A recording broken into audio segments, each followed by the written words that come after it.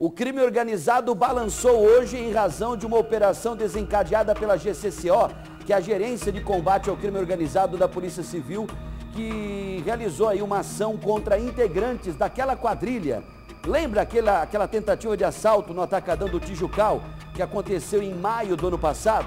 Na época, três criminosos foram mortos após uma troca de tiros com seguranças e policiais. O detalhe, gente, né, já está mais do que comprovado, inclusive com mensagens no WhatsApp, de que uma vigilante, né, uma vigilante, uma, uma ex-funcionária do carro que fazia o transporte dos malotes com dinheiro, essa vigilante teria realmente passado informações privilegiadas, facilitando a ação desses bandidos. Só que na hora o negócio saiu do controle e foi tiro para tudo quanto é lado. Reportagem do Bruno Pinheiro balançando aqui, ó, na tela do balanço.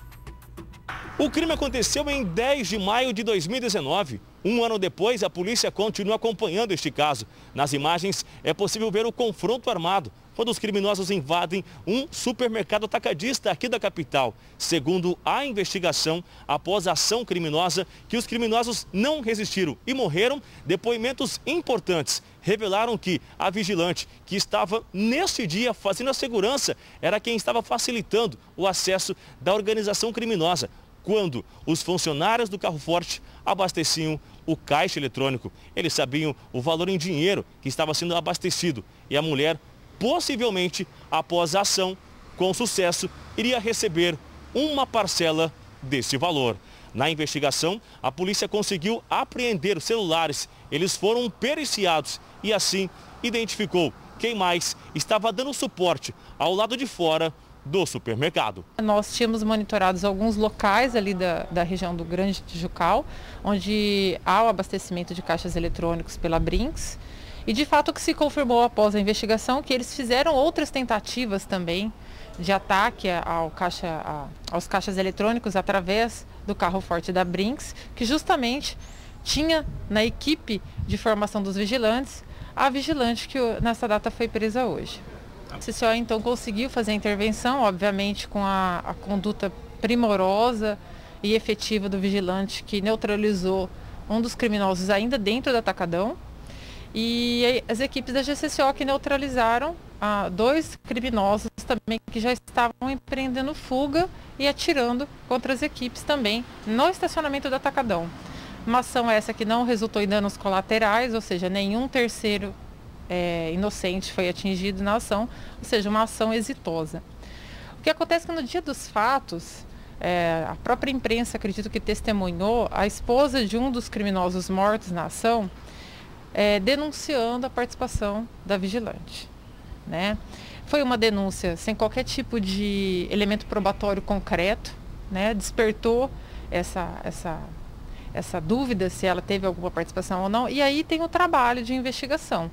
Um trabalho que foi mais demorado, nós tivemos que ter cuidados especiais, é, uma série de ordens judiciais a serem cumpridas, perícias, análises, estudo das imagens, estudo das imagens de dias anteriores, das tentativas anteriores que esse grupo criminoso fez numa farmácia, no extra da Miguel Sutil. Então tem diversas ações que eles tentaram antes de ir para o atacadão. E aí, com base nessas imagens, nesse conteúdo, em tudo isso que a gente conseguiu arrecadar, nós fizemos essa investigação aprofundada e qualificada para comprovar a participação ou não da vigilante.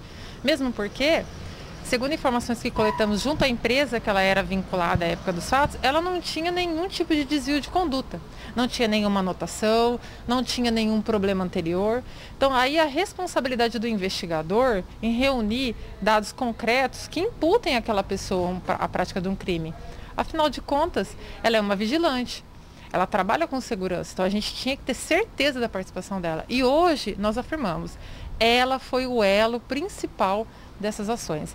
Ao todo, cinco mandados são cumpridos. Neste momento, chega na delegacia GCCO, a vigilante que estava envolvida nesta ação criminosa dentro da viatura. Essa é a mulher que estava envolvida, segurança, que estava neste estabelecimento comercial, um supermercado atacadista aqui da capital. É o momento, ela vai chegando na delegacia durante toda a investigação.